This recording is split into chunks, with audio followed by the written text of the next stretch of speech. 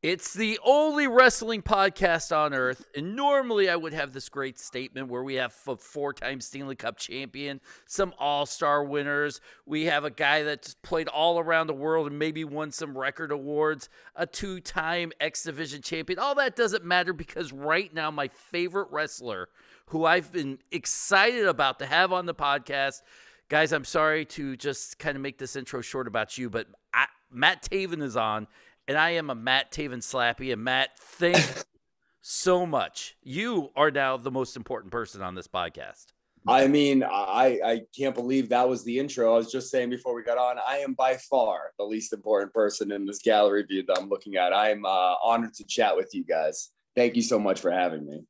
That's why I corrected you, Matt, and I will keep the truth going here. I'm also, you'll know, the storyline guy, but that's why we have Dennis and we're all big fans of what you do and what you've done. So thanks for joining us. Oh my God, that thank you. Thank you so much. I really appreciate that.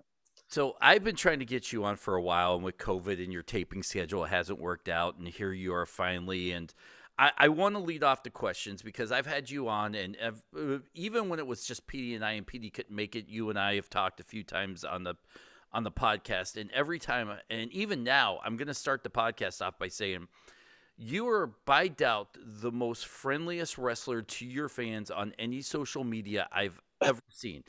And in this age, because we all kind of grew up in the age where you had the Scott Halls and, and, all these other guys who like to kind of dump on their fans and on wrestling fans and call us marks and and really dump. I I don't know if I've ever really asked you this, but who taught you how to treat fans when you got to this level of wrestling? That's a great question. Um, you know what? A weird story pops into my mind instantly. When we were in Japan uh, one time, I had uh, it was me and Tama and a couple other guys were going out to eat, and we just kind of happened to be talking about Tama about Haku, and uh, you know what that was like growing up with with Haku as your dad, and and uh, he would say, you know, they couldn't go anywhere without people kind of recognizing him and coming up and saying hi, and that he always, no matter what, if they were in the middle of the of dinner, would shake people's hands, you know, sign autographs, take pictures, whatever the case may be. And when his wife would afterwards kind of say, like, hey, we're eating or whatever, he'd be like, that's why we're eating, because of these people right here. And um, for me personally, you know, I, I was a heel uh, forever in Ring of Honor. And there was really this kind of groundswell that led me to you know ultimately the world title and, and the show at madison square garden. But it was those people that were so loud on twitter you know on the internet just kind of really getting behind me and what i was doing that if they didn't if that never happened none of the other stuff happens afterwards. So uh, i was always grateful for them but especially now looking back at that time i'm like the, the greatest moment of my life really happened because of the noise that these people were making uh, for me uh, on Twitter and Facebook and whatever else. So uh, I'll always be grateful for that. Matt, you talk about um, you know how important the fans are and all that kind of stuff, and you know I know you're at the the ROH tapings right now. I'm at the Impact tapings. It's it's, it's great to see you, but uh, it really is.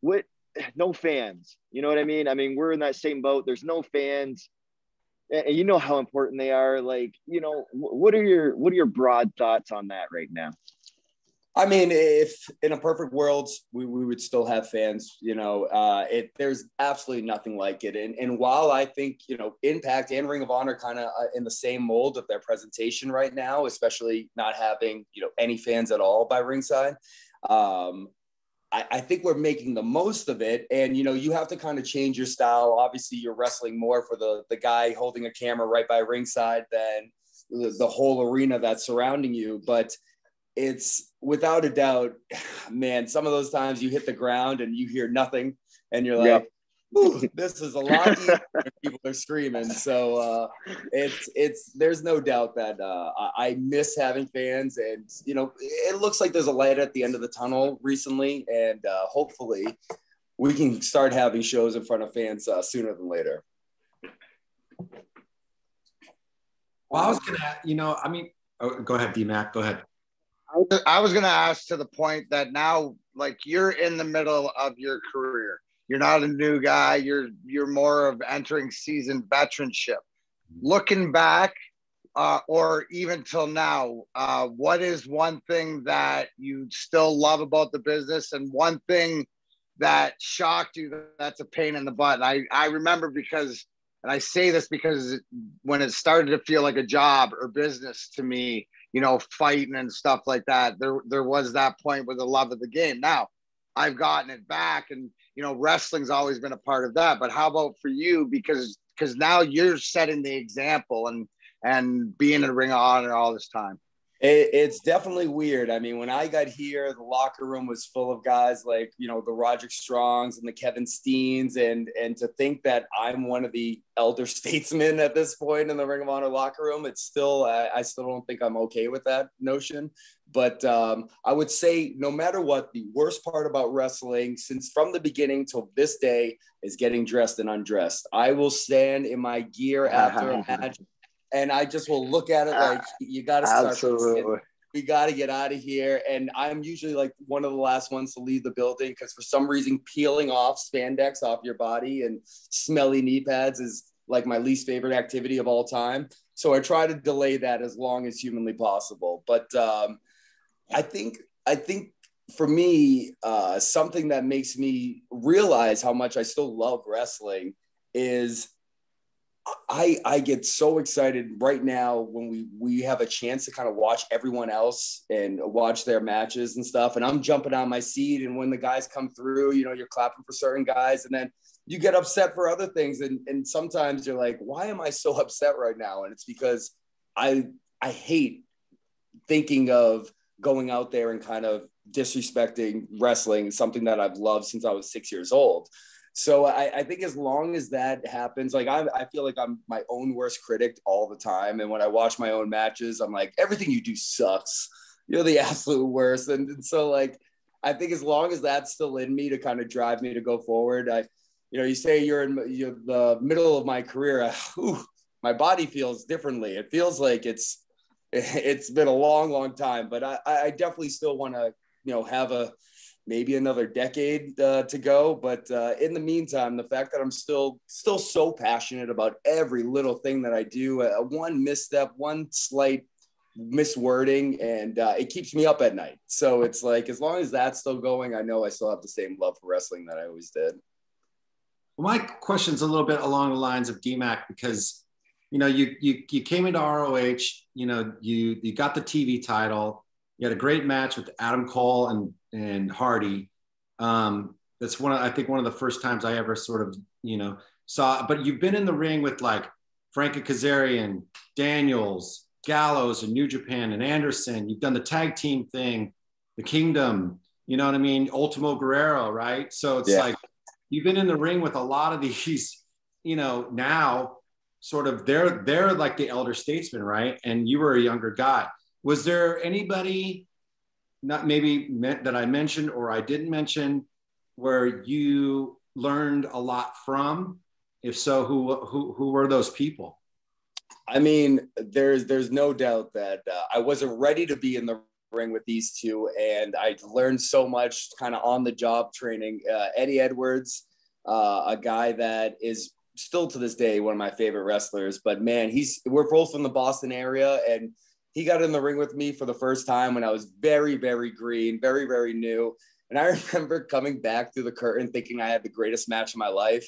And Eddie was like, oof, guess we'll get him next time. And I was like, I don't know if I could ever do it better than that. So, uh, you know, I, I, I, definitely learned a lot from him and Roderick Strong, uh, the two guys that when I was first into Ring of Honor, man, I was very intimidated to, to get in the ring with those two. And uh, just to see how they could guide and lead other people, you know, people that maybe shouldn't have been in the ring with them at the time was like, oh, I, am not good at all. Until I can do something like this, like I, I have a long way to go. So they always open my eyes. But without a doubt, the there's there's uh as a tag team and as a singles guy, there's there's two different people that that bring me uh, kind of the best out of me. Jay Lethal, me and him have chemistry that uh, I wish I could wrestle him every single night. And my favorite match of all time is with him. And as a team, anytime me and Mike have wrestled the Briscoes, it's kind of the only times in my life where I really feel like, oh man, I could kick some ass right now. Because if you don't, Jay Briscoe will kick your ass, and uh, you you have to fight for everything you got in there. Uh, so I definitely, anytime we stepped in the ring with the Briscoes, it brought another level out of me. And anytime I was in the ring with Jay Lethal, I, I definitely walked out much better than I walked in. But you know what? My question may feel like one of those wrestling gotcha questions built on getting headlines, but this is a real genuine Uh-oh. question here. Uh-oh. Uh, you, when you were kind of in the youth of the Ring of Honor, you built around all this talent, and Ring of Honor was, you know, right there at the top. Ring of Honor's gone through some rebuilding phases, and as it's done this, you've slowly climbed the ladder to be one of the locker room leaders and one of the, the the faces of the company.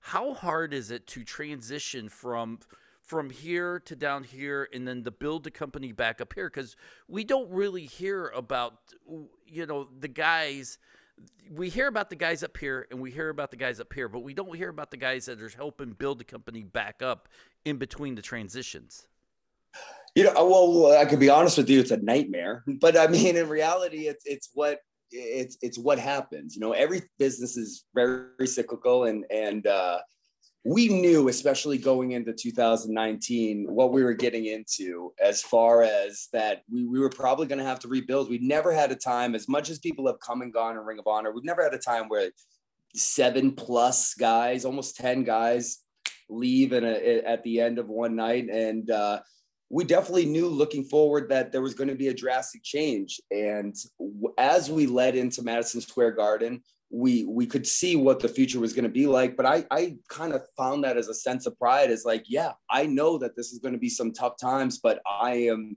110% willing to put this company on my back or represent it in any way possible because i believe in this company. I've seen it have its ups and downs and always come back up. And now we're at this position where if you continue to do things that we're doing here, producing as good quality product as we're doing here, it eventually will catch fire. You know what I mean? It's it's never at the the time when it begins that people just jump on. It's once that that snowball starts rolling downhill and growing. And uh, we definitely did that with the Pure tournament coming back from from the pandemic. And no offense, PD, but I, I would put our product against any other product and say it's the best one out there uh, since the pandemic because these guys are hungry in this locker room. We know what what's going on. We live in reality. We know that uh, Ring of Honor is an, as hot as it was in 2018, and that that goes up our ass sideways. And we want to show everyone exactly why we are the best wrestlers and the best wrestling on the planet. We truly believe that from the top to the bottom around here. And uh, if, if anyone's curious on why we're so confident about that, they just need to tune in. You made PD leave. He had to go. I did. I, I said that, and now he's out. I like it, but this is what I love about it. Right? You got your what I'm hearing is is what you want, and that's the companies pushing each other in a productive way because it's us fans who are benefiting. And Ring of Honor, I'll be honest, is the like sort of the last one. I went to New Japan before that because of these guys audition, but I'm really into it because of what you do and what's different. I want to bring up uh, the anniversary coming up in your match against Vincent because it's coming up on March 26th, which is the 24 year anniversary of me pummeling the shit out of Claude Lemieux in the revenge game for the Wings and that special day. And I'm the storyline guy. So I know this goes way, way, way back because I did my homework. And he's cost like, dude, he hit you with the freaking axe, and then he licked his fingers pre-COVID, obviously. But you know, like just goofy, like this is a history match, and on this day, I have good vibes for you, my brother, to get to get your revenge. But can you speak a little bit about what you guys have been building and how this has come sort of full circle where you have history? And I I love that about wrestling. And I think that that's what Ring of Honor, when you dig into it, and that's what Dennis, that's what Lars, that's what these guys have taught me more into the love on finding it. And that's, you know, what led me into you and the loyalty you talk about. So what, what do you got? You got to like, dude, I know about revenge. So I wish you sweet revenge. Can you tell me a little bit of something, what you got planned for him? Well, I mean, this is uh, you know, and it goes back to to where you started there with the axe. You know, he we were in a group together for three and a half years. All of a sudden, I get cut with an axe. I have a giant scar on my forehead still to this day. He did drink my blood on television, which is always a weird sight to see. Uh, but you know, I really I challenge anyone to look at the last. Lars is like, wait, what? I mean, I'm show. people drink blood on TV. I mean, I, am okay with that. I'm sorry to interrupt. I, was, I, mean, obviously, uh, we, we were fine with it here at Ring of Honor as well. But uh, it, it's just I think in the last year and a half. I mean that that started in November November first, two thousand nineteen, and we are now in March of twenty twenty one, and this thing has gone on this entire time, and it's one of those things that I I definitely have a sense of pride in. If like go uh, go, who who else has kept something going during a pandemic? Uh, a five month ap- absence for Ring of Honor, and we and this thing has kept going this entire time. Uh, for for Vinny and I, though, this thing goes back a lot further than that. You know, we've known each other really since the very beginning. We trained at the building that this will take place at uh, in Fall River, Massachusetts. We trained under Spike Dudley. Uh, we knew each other. I mean, I can really tell you that my first days in wrestling, I met Vinny. And that's not just, you know, a storyline thing, that's as real as it gets.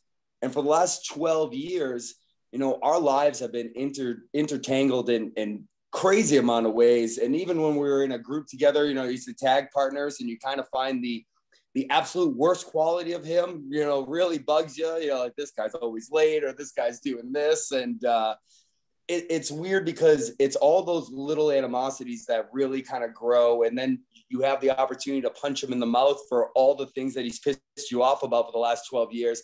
And you take full advantage of that. So um, I plan on taking advantage of that even more on March 26th because I haven't even laid into him for, for stuff that has happened years and years ago. I, I've just scratched the surface of how pissed off I am at him for uh, you know not getting the rental cars until like the day of, and then all of a sudden I'm scrambling it to do it, uh, for getting his passport when we're trying to cro- cross the border. You know all the things that I had to be his dad for for years because this idiot uh, he can't even. I, I'm I'm shocked that he's been able to function through life.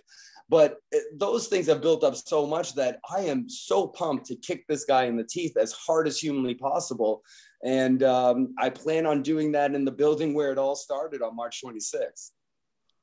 Well, I, I have a two part question. Um, and it kind of goes back to something that you were, uh, Dennis was asking you about the rebuilding, the re, you know, kind of the, the coming up of our, uh, of Ring of Honor. Um, in 2011, I was at, uh, in Georgia when you got the Ring of Honor did that show uh, where WCW Saturday night was. Yeah um, what was the name of that place? Why I'm I'm losing so many pro wrestling. Omni, uh, at wasn't the Omni. Was not the Omni. Center stage. At center stage. Center stage. Okay. So, and in the back, because I was in the back, you have, you know, you had the Bucks, you had Cesar, you had most of these guys that were there are now in up north or they're in AEW or other places. And at the time, that's kind of like the the big that was kind of like because they would always run the show the same time as Mania, right? So mm-hmm. now, you know, here you are with this incarnation of Ring of Honor, and you're doing Madison Square Garden. So, I guess that question, that first part of the, the my two questions is, do you feel like that era of Ring of Honor? What uh, what is different from that era of Ring of Honor to where it is now? What's going to keep you there? You know, a, funny, I don't think that there's too much of a difference from that time and, and really all the locker room since. There was always this sense of a friendly competition in the Ring of Honor locker rooms. Like we we were always kind of built on like the best of the indies it would come to Ring of Honor. And you always saw these guys all over the place. And, and there would be this little like, oh, that guy got booked on that show. And I'm, I'm, I was, that was supposed to be my spot. And there would always be this kind of friendly competition to kind of outdo the other matches that came before you. And I think if anything, that mentality has grown exponentially uh, in Ring of Honor. And since 2011, it, the competition and the talent in this locker room has continued to grow. And it's funny because now you look all over the place, and all those guys were Ring of Honor guys. And to me, I always look at that as a plus because I was a lunatic wrestling fan that when I found out about this guy or that guy, I would look up everything they did before and it would it would make me discover other things. It's how I discovered ECW. Uh, so to me, I'm like, okay, that's fine. You know, there's a wrestling fan out there that's going to look up Adam Cole and see our matches at Ring of Honor, and that that will bring a new eyes to uh, to Ring of Honor. Um, so I, I definitely think that in 2011 there was this mentality of of being the the best of on the card and in 2021 it is so much more uh, of a mindset that everyone has because again we're looking to prove to people that um, no matter what has happened o- over the pandemic or over the year before that ring of honor is still the best wrestling on the planet and i think you could say that in 2011 and you could say that 10 years later all right. Well, the second part of my question is, is that you had your injury. It was, I believe, it was your knee, right? Was it your knee? Yeah. Uh, uh, well, unfortunately, I've had two, three surgeries on my left knee and one on my ankle. Okay. There was one. There was a point where you're out for about a year. Yeah, that was, uh, yeah, my knee. Okay. So you have that injury. How does your style change? Do you, or does it change at all? Or do you, you know, is are you spooked to get back in afterwards? Like, tell me about what's going on there. Like, if you can, uh, you can go back. I mean, it, it, it's funny because my style should have changed a lot more, and maybe I'm just a glutton for punishment and and have this weird um, immortal mindset that I'm like, my knees will hold up if I just keep destroying them, no matter how many surgeries I have. Uh, so I probably should have changed up my my game a tiny bit more, but I can definitely tell you that I used to springboard to the top rope. Those days are done. Um, you know, like uh, there's little things that I can see as a big change, but man, I went, um, I blew out my ACL. I also had a ruptured meniscus that they had to fish out of my hamstring. I had a another torn meniscus that they had to repair. And the first doctor, I had an MCL tear as well. The first doctor I saw, uh, I don't think he was too familiar with sports guys, but he was like, it's going to be two and a half years before you wrestle again. I haven't seen anything this bad. I was like, yeah, I'm going to go somewhere else. And uh, once I finally got hooked up with a doctor who I think had, had been around more athletes, he's like, we can get you back in probably a year. Well, about six months, seven months in, I'm approached by by Ring of Honor and CMLL uh, about wanting to have my return be in Arena Mexico. And like I said, I, have been a, a, lunatic wrestling fan since I was a kid, and uh, I love the stories of guys who have gone all around the world and have picked up all these little things in all these different areas and it, it makes you this complete wrestler. And yeah, so to me real, i'm like real quick though but like you're come you come back to that and look who you step in the ring with. I mean that's got to make you shit your pants a little bit right? I mean come on. The, the whole the dirt. was, come on. Give me the, dirt. the dirt. whole thing was absolutely insane. I'm saying like i haven't been I all of a sudden tell my doctor like, "Hey, I got to be in Arena Mexico. I'm not missing this." And he's like, "I don't. I, that's kind of crazy." So, eight and a half months, I said, "I'm doing it." He, we put it into overdrive a little bit, but he was not. I don't think he was hundred percent about me going down there. And then I go down there and I'm in the ring with Rush, Ultimo Guerrero, Ultimo Guerrero, who I'm a huge, huge fan of. And like one of my favorite matches of all time was with Ultimo Guerrero in Arena Mexico. And I was not prepared for them to start throwing, you know, money in the ring and they throw coins and those son of a, those things hit you so hard. I think I got a black guy from a coins getting thrown in the ring then from the match, but like oh, so many crazy things happen. This is the first time I'm wrestling with this giant knee brace and you have to walk down these huge crazy stairs in Arena Mexico and as I'm walking down, the top strap of this ACL brace just just blows open and I'm trying to like makeshift tie it in the corner. I but for some strange reason, I was like, I'm not changing anything. I'm doing the dives to the outside. I'm doing all this. I'm in Arena Mexico. And I, will still say to this day, Arena Mexico is the best place to wrestle in. The fans are so crazy there that no matter if you could barely walk, you'll pull off whatever craziness you had in mind because they will make your adrenaline go through the absolute roof. Mm-hmm. So I, I owe everything to going to Mexico. I went down there and it totally changed my mindset on things. I came back a different star and, and a different confidence. And, and again, Madison Square Garden doesn't happen without going to Mexico. um, and and wrestling guys like like Ultimo Guerrero, like Volador Jr., Rush, Dragon Lee, and it's funny because now you're seeing them in Ring of Honor so much. At that time, you know, you, you they weren't breaking into America as much as they are now, and I was going down there really not knowing what I was fully getting into, and it's it's almost like wrestling the Briscoes. You know you're in a fight with a lot of those Mexican guys, and you got to step it up and bring it, or, or they'll swallow you whole.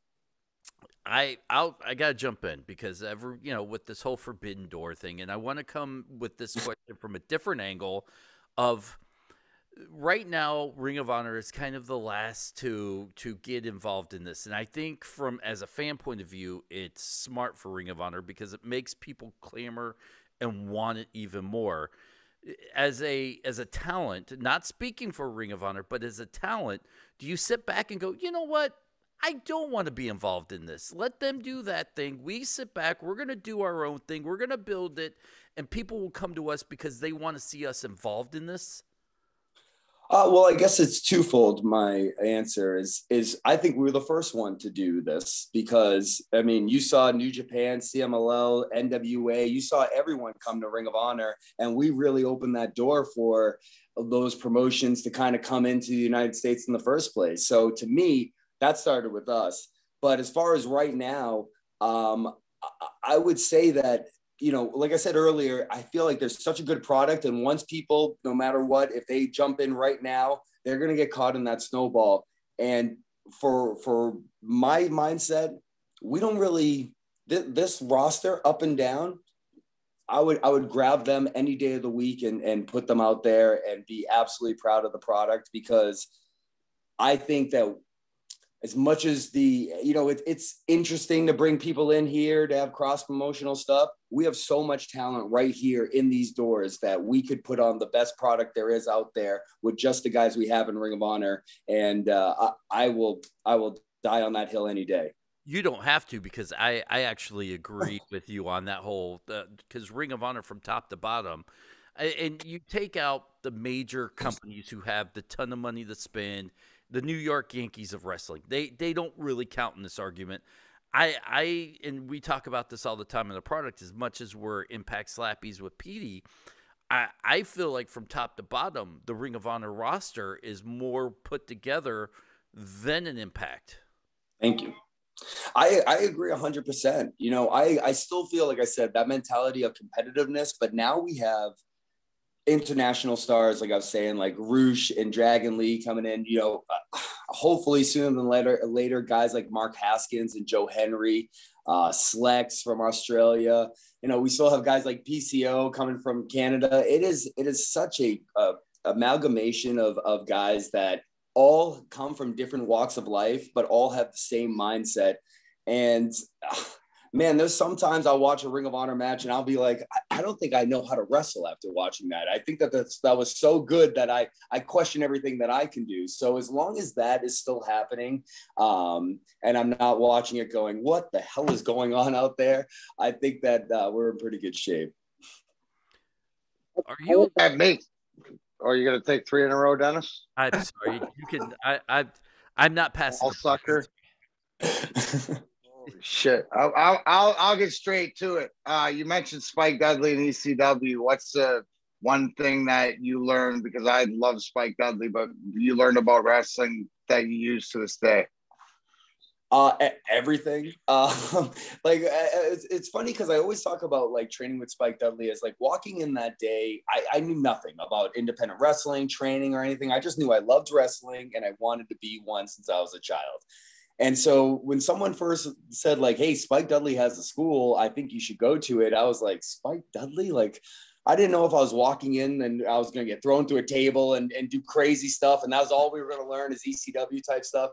And then I walked in was like, "Oh my God, Spike Dudley's the smartest person I've ever met in my life. He knows everything about wrestling and realized that to make money in this business, he had to find his niche and make the most of it." You know, he's, he's not the biggest guy in the world. He's, you know, he's not the strongest guy in the world, but he's had one of the most impressive careers going through all the major companies, winning gold all over the place, and obviously making money doing it. And to see a guy at that stature be so successful, you know, there's something up here that, that obviously has led him in that direction. But then he would show us things in the ring. I was like, you've never done anything like this on TV. Like, why, why have you been holding this, you know, as a secret? He's like, because that's not what Spike Dudley would do. And I'm like, oh my God, you're just, you know, too much. You're blowing my mind. But uh, I still always say, like, there's a match in ECW, Spike Dudley versus Rob Van Dam, that I, I'm pretty sure it's on YouTube. But Spike Dudley is more Rod Van, Rob Van Dam in that match than RVD is. Like he's doing all this crazy stuff. He's doing lucha stuff, and you're like, I think Spike was just feeling it that night. But he's uh, he's got this abundance of knowledge, and I literally owe everything to him. Well, obviously, because both you and fucking DMAC decided to show up in your goddamn tie dye. You know? He's there, bro. Hey, what shirt are you wearing, Lars? Well, I'm wearing a School of Morton. My good buddy, Mr. Ricky Morton, sent me this shirt. I'll just have to have you all know from a, from a little tag team called the Rock and Roll Express. Have you guys heard of them? No. But um, uh, I, I was about to say, Dennis. I mean, you didn't notice from the haircut on the skull what that shirt was. I mean, that's the most infamous hair of all time. well, you know, Ricky Morton is is such a good dude, and uh, thanks, right. Ricky, for sending me the T-shirt and the care package. Um, you know, one of the things that I think watching ROH from the very get-go, and like you was talking about, was it was always like a place where the, the the the cream of the crop of the independent wrestlers would always go, and I think that's what made that company so special. And then you talk about you know all the other companies coming in and exposing Americans to um, you know international talent and stuff like that. And if you weren't a tape trader like myself, there, that might have been your first glimpse, right? So at, when, when you're when you're doing that kind of thing, what's more important to you? Is it that is it the big picture of getting ROH over, or is it like putting these guys over, or what what is it that you're trying to accomplish when in your in your perspective when you're bringing in international talent from different promote promotions? Because obviously, you know, if you go to Mexico, you know they're they're they're doing a, a, a match in Spanish, you know, I've, you know, yeah. or whatever it is. So it's like, what are you what are you trying to accomplish with that, other than just the star power? Uh, I think it's really broadening the audience. You know, we live in such a world right now where no matter where you live, your your phone can can tell you show you any video from any wrestling promotion. The the days of trade tating is uh, trade. Wow, tape trading. Uh, that's a tough one to say. Yeah, they're dead. Unfortunately, as fun as they were, because right now you can just go on your phone and I could see what's happening in Japan and Mexico in a second. So without a doubt, like bringing those guys into Ring of Honor is is showing Ring of Honor to a national, an international audience, and really kind of growing that fan base because it was for so long the creme de la creme of the indies in America. And now, you know, it's it's all the top stars from all over the world. Uh, at the same time, you know, guys like Rush, I don't know if people know how big of a star he is in Mexico. You know, like he is a he's he's the top guy in Mexico, and so when he comes up here, he's bringing a giant audience with him. Um, but at the same time, he's such a big star in Mexico, and the fact that people don't really know him up here as much, it's doing wonders for him as well to get that exposure. Um, but I, I, think everyone in the locker room, whether they're international or not, and right now I feel I, have made this point a couple of times, but I, I, definitely think that everyone feels like if, if I get over, if Matt Taven, you know, it, it starts blowing up and, and more and more people start following me, well, that's going to help Ring of Honor. And I think we all have that, that mentality of like, we need to be bigger stars and, and Ring of Honor will, will come along with us. You know, it's funny you say that because when PD retired from wrestling and doing the podcast the first time, before I got had it was me and Eli Drake. I approached you to do a podcast, and you were doing one already of your own, which bummed me out because, like I said, you're my favorite wrestler. But I, I felt like the podcast industry in the wrestling helped bring the whole indie scene back up because now you have fans become content providers, you have wrestlers become content providers on a different level. What I guess what made you get into doing podcasting? Did it change the way you looked at the industry when you started doing podcasts? Uh, you know, it's it, we live in like, especially with all the streaming services and stuff. Like, no matter what you like, whether uh, no matter how niche it is, you can get a straight pipeline to that. So like a lot of it was to grow a fan base, but also to to give my fans uh, a, a, a access to me.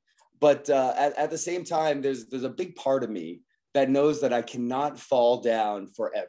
you know, it, there is going to be one day where I cannot do it anymore. And I still have always loved being in the entertainment business in one way or the other. I would love to get into broadcasting. I always love talking about sports. So it was kind of a, a big, good way for me to kind of step into that industry and really kind of see what it was like to see how my voice sound if I ever wanted to pitch that to, to places. And um, I think that you can you can literally right now go on your phone and find exactly what you're looking for whether it's a podcast or a streaming service. And that that's a like a, a very cool thing. At the same time it divides an audience a lot. It kind of makes your attention go into a lot of different places. So i felt like hey i got to jump in this pool and have my voice be heard at the same time. You know what i mean? I don't, I don't want so many people going to all these different places. I'm kind of getting lost in the shuffle. So i definitely wanted to jump in and feel how it was. And, and I wish Petey stayed on because I have been waiting to ask him does he realize the influence that he has had on the wrestling world and how everyone does Canadian destroyers now and like why he didn't name it the PD driver or something so every time someone said does it they have to be like that's Petey Williams Dennis, before you do as as Petey's best friend sitting in his house, let me just say this. I've had the pleasure of watching matches with Petey, and I've learned um, that everybody does it, but not everybody does it well. And uh, he he actually ranks them and, and stuff because you know whatever the thing like MJF brought up the fact that he stole it from Red or something like this, but he but the thing is he polished it to make it his own. I I believe you're right, but Dennis, do you have more to that story? But it is. They're all over now. It's like the it's a niche, and I think it's one of the greatest moves ever. And then Adam Cole stole it and changed it to the Panama Dream Sweeper or whatever. I was like, here, whatever, like this. Dennis, what do you got on that? Here, we'll go to the reporter in the room. Big J journalism over there, Dennis. You, you know what? I think PD understands the move and the impact it's had on the business, but him as a wrestler, I don't think he values himself as high as everybody does he still freaks out when people are like, dude, I'm a big fan of yours. I loved watching you as a kid. I mean, how many times have we had a wrestler on, or even you, Lars, even you, D Mac, when you guys came on as guests, and you guys, Petey Williams, he's like, what are you guys geeking out over me for? I, I, I'm a nobody. And, and he truly feels that way. Now he understands his move, but he, I think he feels like his move is different from him and his own legacy. I, I mean, I think he's a great Canadian because he named the move unselfishly after the country. And, you know, if it was me, it would have been the, the Matt Taven driver. And if anyone stole it, I is the Matt Taven driver. But, you, uh, you know, I, I, to me, personally, I always say this like, there, are there are three guys total that I don't think get the due or the the credit that they deserve for how they shaped the business and how it is right now. Petey Williams, without a doubt, you watch his move every night of the week on whatever channel you're watching. And the Motor City Machine Guns changed the way that we do tag wrestling. And obviously, then the Bucks did it too, and it kind of went along the line. But like Petey and the and the Guns and that TNA era, you know, with Jay Lethal and Sonjay and all these guys who like really, really changed the, the way we do wrestling now. Uh, they don't get they don't they get this much credit when they they've done so much. But yeah, I mean, you should get credit too because you're you're one of the new leaders here in this this new era of Ring of Honor. You're you're humble. You're amazing to the fans. I I can't believe how many times because I have you're one of the few people I have set on my phone when you tweet I get an alert from. So and it's a lot of oh man, thank you so much. And I believe it was even last year that someone had tweeted you, and I'm gonna I'm humble bragging for you. So just sit back and enjoy this ride here. Uh, someone was just you know tweeted you like, "Oh Matt, you're my favorite wrestler." Yeah. I wish I could have. I wish. What? needs to see you. So. Back. You okay? Uh, there he goes. But um, you, you, someone tweeted at you and said, "Hey, uh, I I appreciate it. I'm a big fan. I just lost my job. I wish I could buy a shirt." And you sent some shirts out to the guy. I mean, I don't see that in today's wrestling anymore. So right there, I mean, how do you not like you as a favorite wrestler? oh, I mean, just ask the internet. There's plenty of re- they, there's plenty of people that hate my guts. I'm sure they'll give you a million reasons why. Mm. Uh, I feel like I haven't. I I've continued to just do other people's stuff. You know what I mean? I feel like I'm still kind of that fan that's wrestling like all my idols. Uh, I, I don't know. Maybe my influence is the amount of purple that's in wrestling today. Maybe I I started that trend, no pun intended. But uh, like I said, it's to me, I, I feel like um, I, I wouldn't be living this life. You know what I mean? I, I would have no no chance at all to live a life that I've, I've literally as a six year old boy looked at the TV and was like, that's what I want to do.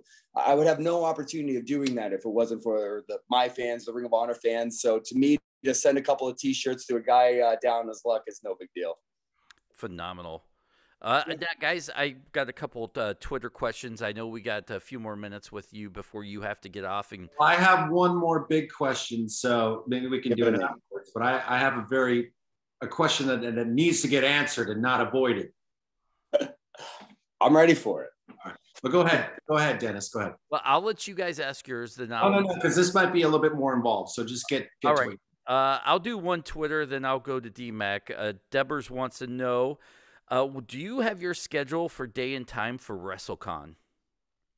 I do. I just got it today. Uh, I will be there Friday and Saturday. Um, I believe I'm there in the I'm from 12 to like four on Friday. And I think I'm there from like nine to two or, or 10 to two on Saturday. So early on Saturday, midday on Friday. Uh, hopefully, you know, it's, it's a crazy time, but hopefully we'll be able to finally see some fans for the first time in a long time at WrestleCon. DMAC? I just wanted to say that you did such a great job explaining about that Ring of Honor to anybody out there that's newer to it is the foundation and solidity of international wrestling. As uh, I'm watching Flamita right now wrestle, uh, you know, like and just seeing because that's where I think you brought up a great point, Matt, where it's about all of you guys building something, but we're the next greatest people, like you say, Rush and different things. They're big in other countries, but you know, and you see the pure wrestling. See, I, I watch Ring of Honor to watch wrestling. I watch the other shows to watch the storylines and the and the and the comedy and all that different thing. And you know, somebody to spit spit off. But the reality that you guys capture as a fan, I want to say kudos. And it's great to be so what how you because you get it. And then the way it is, even though Dennis if you didn't spill anything, he's just got his mouth down there. So don't worry about it. But I appreciate it. I've been a big fan. Oh, thank you, man. I mean, I really have to say, as far as the pure stuff, Jonathan Gresham has been the MVP of Ring of Honor since we returned from the pandemic. He is absolutely unbelievable.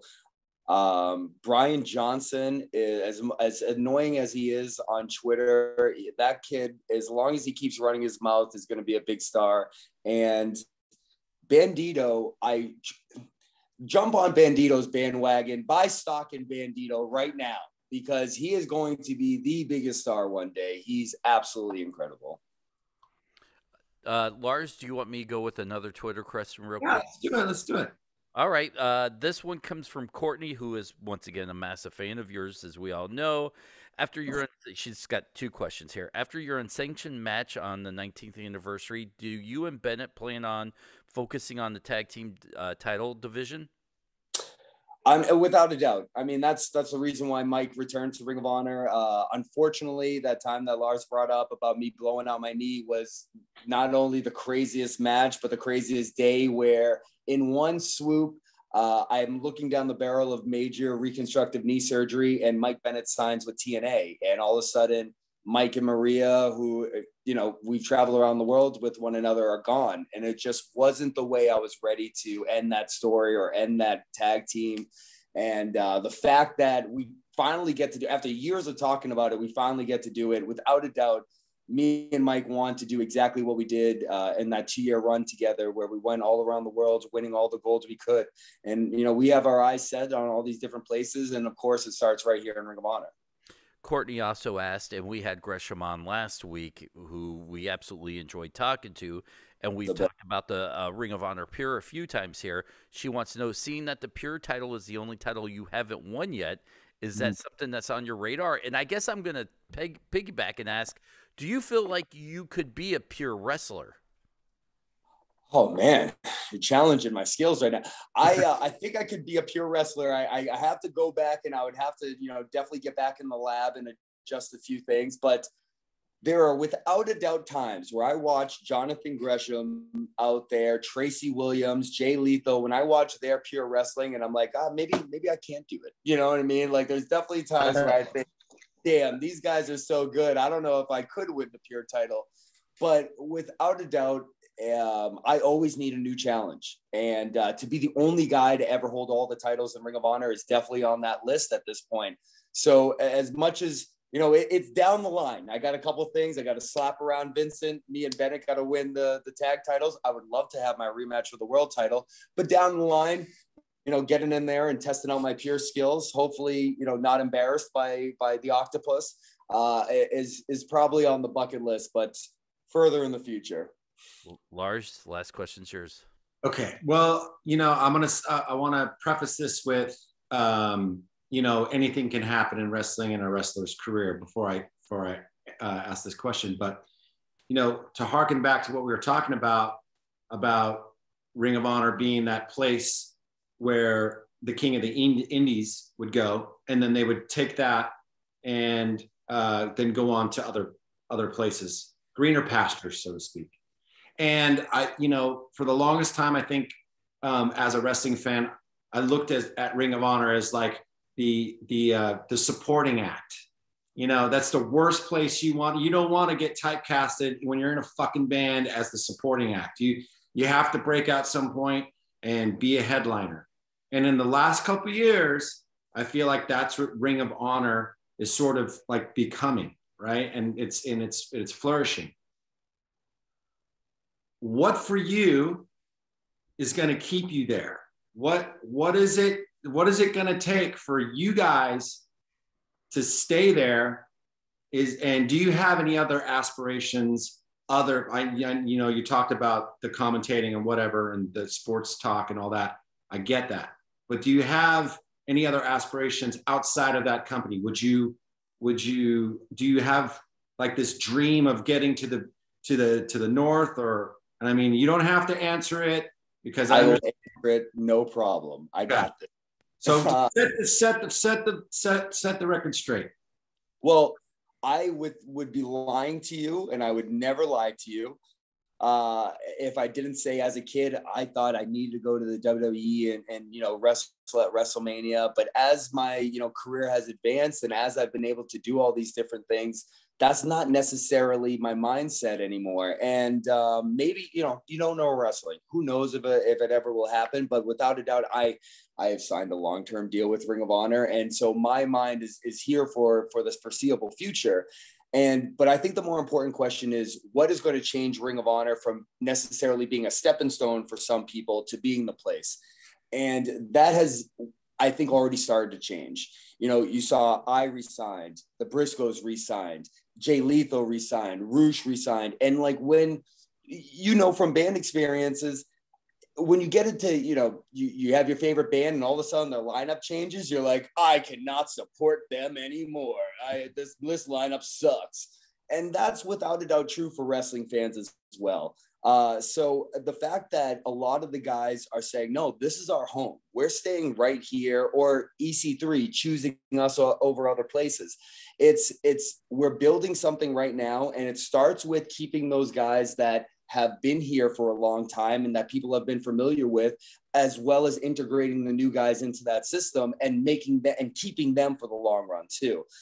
So I think it's it's already started. You know, you've seen these guys commit to Ring of Honor. Uh, there's been a slew of re-signings recently, but you know, guys that, that, especially since the pandemic, like a Jonathan Gresham, you know, re-signing with Ring of Honor and saying, no, we we are sticking our flag in the ground. This is the place to be. This is the best wrestling in the world. Take it or leave it. Um, and and at the same token, you know, as far as the greener greener pastures place mindset, that is changing as as as well. You know, we we have definitely have grown up since the times that I was sleeping on a, floor in the La Quinta, just hoping to get uh, someone to recognize me as I'm helping out doing ring crew. You know, we have grown as a company and we are definitely taking the steps to make sure that this isn't no longer a stepping stone. This is the place to be. And it's just a matter of time before uh, that, again, that snowball continues to roll downhill and we can continue to grow on it. You, you said something that's interesting there, eh, but it's also true. Is and we've talked about impact a lot on the show, and especially with Petey. And impact, I think, has got to a point where they're okay with being a stepping stone, where they're almost like, all right, we'll be the minor leagues, we'll develop the young talent, they'll go make more money somewhere else, but that will bring more talent in, and we'll develop them, and we'll keep it going. And for a Ring of Honor, who I feel like struggled at times to find an identity after those seven or 10 guys left the company, you did a really great job of not becoming another feeder company for some other big company. And it, it goes unnoticed a lot with wrestling fans that you guys have have done that. Well, uh, just to back up real fast, I'm sorry to cut you off, but anybody who is anybody has stepped foot in a Ring of Honor ring, whether so. Bryan Danielson or what, what Daniel Bryan, American whatever. Like Williams. Punk. I mean, add the add infinitum. Like you, it's almost like you, that was the rite of passage to go through. Sorry to cut you off. I, uh, I, no, I, I mean, but you you're both are right because it was for a time a rite of passage. Like you had to go and make yourself a ring of honor, then you'd go elsewhere. Where I think we came back from the pandemic, and like you said, Dennis, we really kind of said, "This is us we we're taking this part of the market and we're making it ours. And if you want to jump on board jump on board. But this is our identity and we're going to keep the people here that make that identity true and we're going to grow on that. And uh, man I, I, really couldn't be prouder to be part of ring of honor. D-mac? Too is what you said is everybody's in. You know yeah. what i mean? You got guys that are all in for the pro so it doesn't matter what you're doing you're going to be successful it's it's if you fall down the hill, go over the cliff, it doesn't matter. I love. I just want to say it's been an absolute pleasure. I love your loyalty and I love your heart, and I wish you all the best because that's the thing is that you guys decided that it's not the prehistoric place, Ring of Honor, get the dust off. No, we're giving you the new version because we know what the history means, and I I love that about you guys know who you are. Definitely, you know I I try to be as as well versed as I can and, and reading a book like like the tipping point where you have to continue to make the right decisions and believe in the decisions you make and continue down that path and sooner or later there will be the tipping point and I think we truly everyone here in Ring of Honor believes in what we're doing. Well, for everybody at home, the show's about to end. For us, we'll probably jib jab a little bit off the air, but I didn't do it at the top of the show. I'll do it at the back end for the four-time Stanley Cup champion Darren McCarty from Petey Williams, the two time X Division champion who popped off early, from two of our former Major League Baseball All Stars who can't be here, Jason Kendall, Dmitri Young, to one of my favorite rock and roll, just punk legends and Lars. Me, Dennis Farrell, thank you everybody for listening to Wrestling Perspective here on FITE TV, which, by the way, comes on right after Ring of Honor on Monday nights on Fight. So, I mean, what better relationship here? So, Thank you guys so much for watching. Matt Taven, thank you, man. You have made my year. Oh, stop. Thank you guys so, so much. It's an absolute honor to, to talk to you guys. Thank you guys for taking the time out to talk to me.